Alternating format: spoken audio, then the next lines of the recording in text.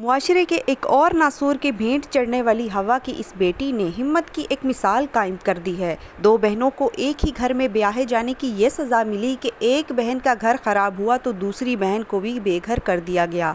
चार बच्चों समेत इस खातून को घर से निकाल दिया गया, लेकिन इस खातून ने हिम्मत ना हारी और हालात से लड़ते हुए अपने बच्चों को भी संभाला, अपने घर को भी संभाला और अपने घर में एक छोटा सा कारोबार शुरू किया, जिसकी बदौलत आज ये महाना लाखों कमा कमा रही हैं और एक कामयाब ज़िंदगी गुजार रही हैं। इनकी कहानी जानते हैं, इन्हीं की ज़ुबानी। मैं बहुत ज़्यादा लाडली थी। अम्मी अबू के घर में दस साल बाद पैदा हुई। अबू की डेथ हुई तो मतलब बहुत लाड प्यार से अबू ने पाला था। और फिर फेस भी उतना ही कुछ करना पड़ा मुझे। वो बहुत बहुत मुश्किल था मुझे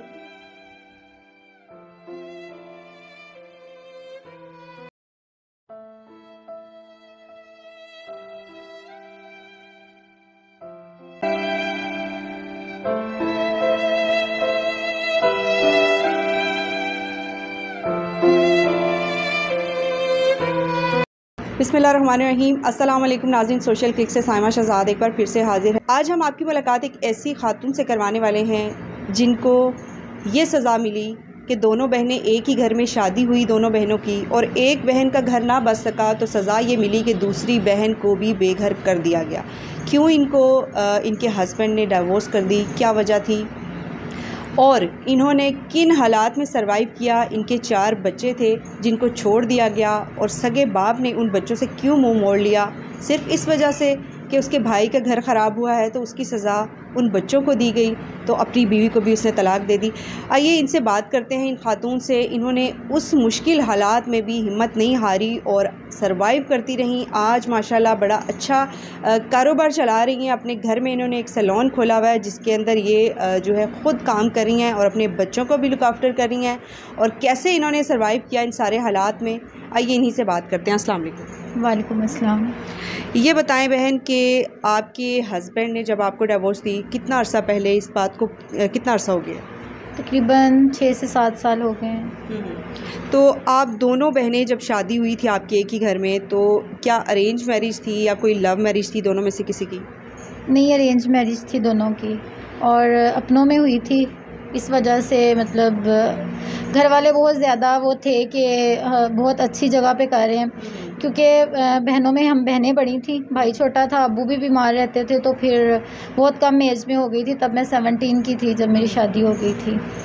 तो जो आपकी बहन थी आ, उनकी एज क्या थी?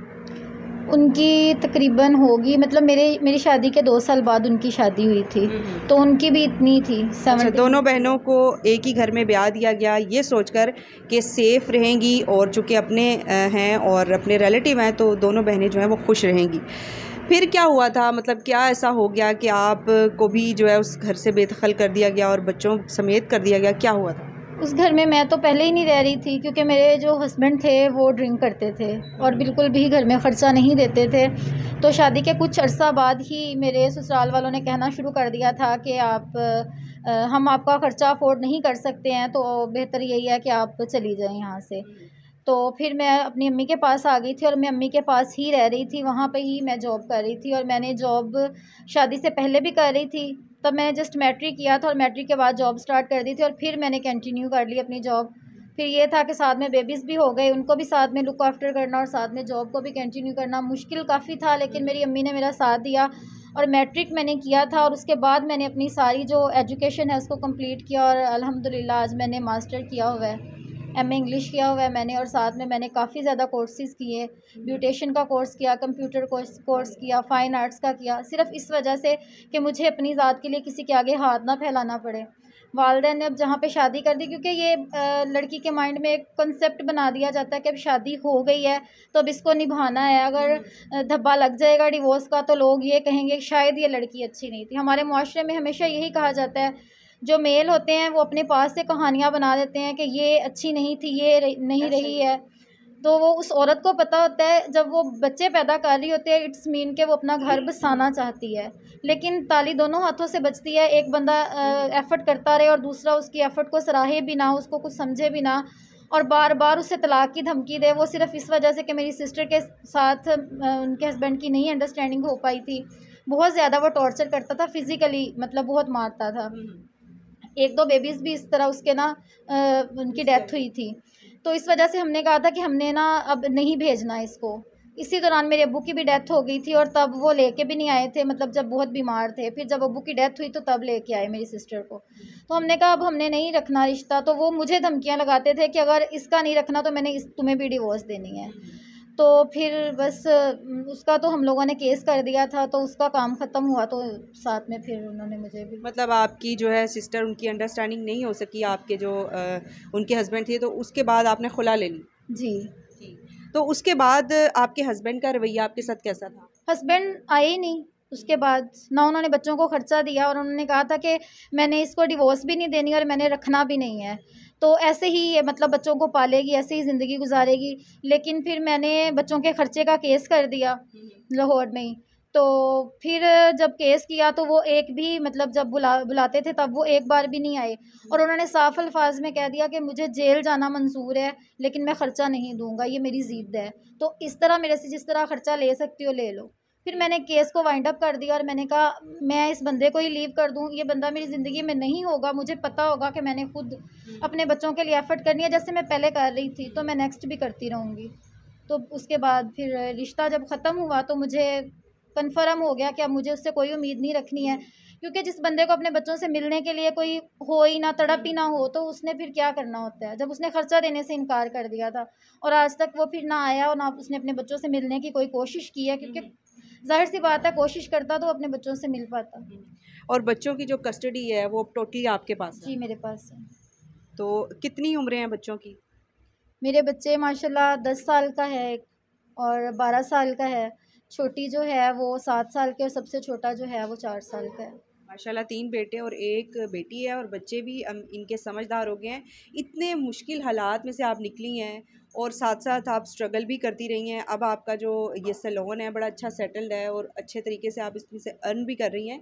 तो कभी एक ऐसा लम्हा आया हो जिसमें आपने बिल्कुल हिम्मत हार दी हो या टूट चुकी हो और उस वक्त आपको थोड़ी सी फिर हिम्मत आई हो तो वो ऐसा लम्हा कब आया था? बहुत बहुत से आए थे ज़िंदगी में। लेकिन फिर मैंने सोचा कि अगर मैं हिम्मत, क्योंकि घर में मैं सबसे बड़ी थी। अबू की डेथ के बाद मैं अपने घर वालों को भी साथ में सपोर्ट कर रही थी। मैं अकेडमी भी करती थी स्कूल में भी टीचिंग करती थी। साथ में मैंने फ़ाइन आर्ट्स का किया हुआ था, वो कुछ चीज़ें बनाना, मैंने फ़ैशन डिज़ाइनिंग का किया हुआ था, कपड़े स्टिच करना।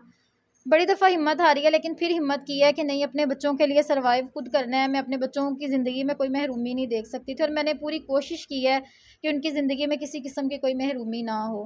बड़ी दफ़ा मेरे साथ इस तरह हुआ कि मैंने अपनी लाइफ में एक टाइम आया था कि मैं डिप्रेशन में चली गई थी और मैंने अपनी ज़िंदगी को ख़त्म करने की भी कोशिश की थी। क्योंकि फिर लोगों की बातें बेयर नहीं होती थी, घर वाले कोई बात कर देते थे, कुछ बच्चों को कह देते थे तो वो बड़ा इंसान, वो डिप्रेशन में चला जाता है। लेकिन फिर मैंने सोचा कि नहीं, अगर मैंने सुसाइड कर लिया इस तरह अपनी ज़िंदगी को ख़त्म कर लिया तो बच्चों का क्या होगा?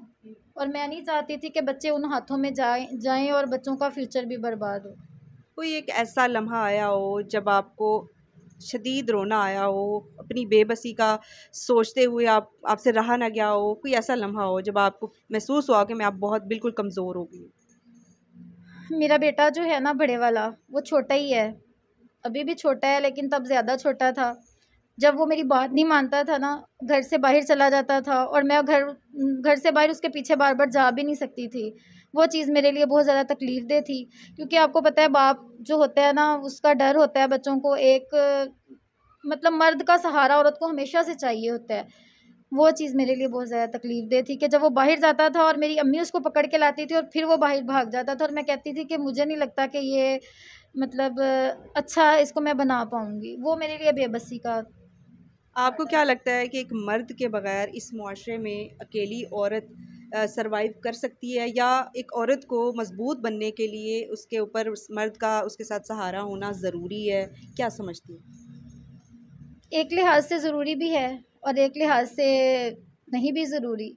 ज़रूरी इस लिहाज से है कि आप ये देखें कि अगर औरत अकेली शाम में बल्कि दिन में ही, डेली कहीं पे जाती है, उसे हमारा मुआशरा, हमारे जो माशरे के लोग हैं, बड़ी बुरी नज़र से देखते हैं, चाहे वो अपने बच्चों के लिए एफर्ट करने जा रही होती है।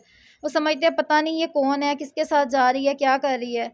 तो इस लिहाज से मर्द का साथ होना ज़रूरी है क्योंकि वो एक मज़बूत सहारा उसके साथ हो तो फिर वो सर्वाइव करने में उसे आसानी होती है। अदरवाइज़ तो वो उसने अपना मैंने सलोन बनाया इसकी जो चीज़ें हैं ख़त्म हो जाती हैं वो भी लेने जाना। तो वो काफ़ी ज़्यादा आपको पता है जब बंदा थोड़ा सा यंग भी हो आजकल तो वैसे भी एजड औरतों को भी लोग इस तरह देखते हैं तो इंसान अपने आप को किन नज़रों से बचाए? ये काफ़ी ज़्यादा मुश्किल टाइम होता है इंसान के लिए। जब आपके अबू की डेथ हुई और कोई ऐसा वक्त आता है इंसान की ज़िंदगी में बहुत सारे ऐसे लम्हात आते हैं जब वो बिल्कुल कमज़ोर हो जाता है जब उसको लगता है कि अब मैं जो हूँ वो हिम्मत हार चुका हूँ। तो उस वक्त आपको आ, क्या फ़ील होता था जब अबू का भी साया सर पे नहीं रहा हस्बैंड ने भी छोड़ दिया बच्चे चार लेके आप बैठी हुई थी? तो उस वक्त आपकी क्या फीलिंग थी? मैं बहुत ज़्यादा लाडली थी। मैं अपनी अम्मी अबू के घर में दस साल बाद पैदा हुई थी। और मुझे प्रॉब्लम्स भी उतनी ज़्यादा फेस करने पड़े और जब अबू की डेथ हुई तो मतलब बहुत लाड प्यार से अबू ने पाला था। और फिर फेस भी उतना ही कुछ करना पड़ा मुझे। वो बहुत बहुत मुश्किल था मेरे लिए। नाजिन, जो बेटियाँ होती हैं ना, वो बाप की बहुत लाडली होती हैं और हर बाप ये चाहता है कि उसकी बेटी जो है वो राज करे। लेकिन माँ बाप बेटियों को सब कुछ दे सकते हैं, नसीब नहीं दे सकते, उनको किस्मत नहीं दे सकते।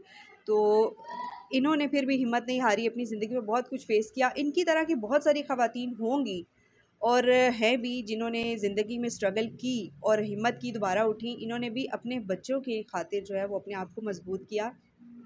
आपकी तरह की बहुत सारी खातन इस वक्त आपको देख रही होंगी और कुछ सीखना भी चाहती होंगी, आप उनको क्या मैसेज देंगी? बस यही कहना चाहूँगी कि मतलब ज़िंदगी में कभी हिम्मत मत हारें। हमेशा इस बात पे यकीन रखें कि दुनिया में आपको हर चीज़, हर बंदा, हर रिश्ता छोड़ दे, लेकिन अल्लाह आपके साथ है। एक अल्लाह पे जो यकीन का सफ़र होता है ना, भरोसे का सफ़र होता है, वो आपको कभी गिरने नहीं देता। और मैं समझती हूँ कि अगर आज मैं कामयाब हूँ या हम अल्हम्दुलिल्लाह मेरे पास कुछ है तो सिर्फ़ इस बदौलत है कि मैं, मेरा यकीन अल्लाह पे था। मुझे पता था कि मेरे साथ मेरा अल्लाह कभी गलत नहीं कर सकता। जो भी हो रहा है ना, उसमें कोई ना कोई मेरे लिए बेहतरी है। हमारे साथ ये खातून मौजूद थी, जिन्होंने अपनी कहानी बताई। इस तरह की बहुत सारी ख़वातीन हैं जो कि इनसे मोटिवेशन हासिल कर सकती हैं। इनका नाम मैं नहीं ले सकती, लेकिन इनकी कहानी मैं ज़रूर बता सकती थी, जो मैंने आपको बताई। और मकसद सिर्फ़ ये था कि इन जैसी और ख़वान को हिम्मत मिले। अपना बहुत सारा ख्याल रखिएगा और कमेंट सेक्शन में अपनी राय से ज़रूर आगाह कीजिएगा। अल्लाह हाफ़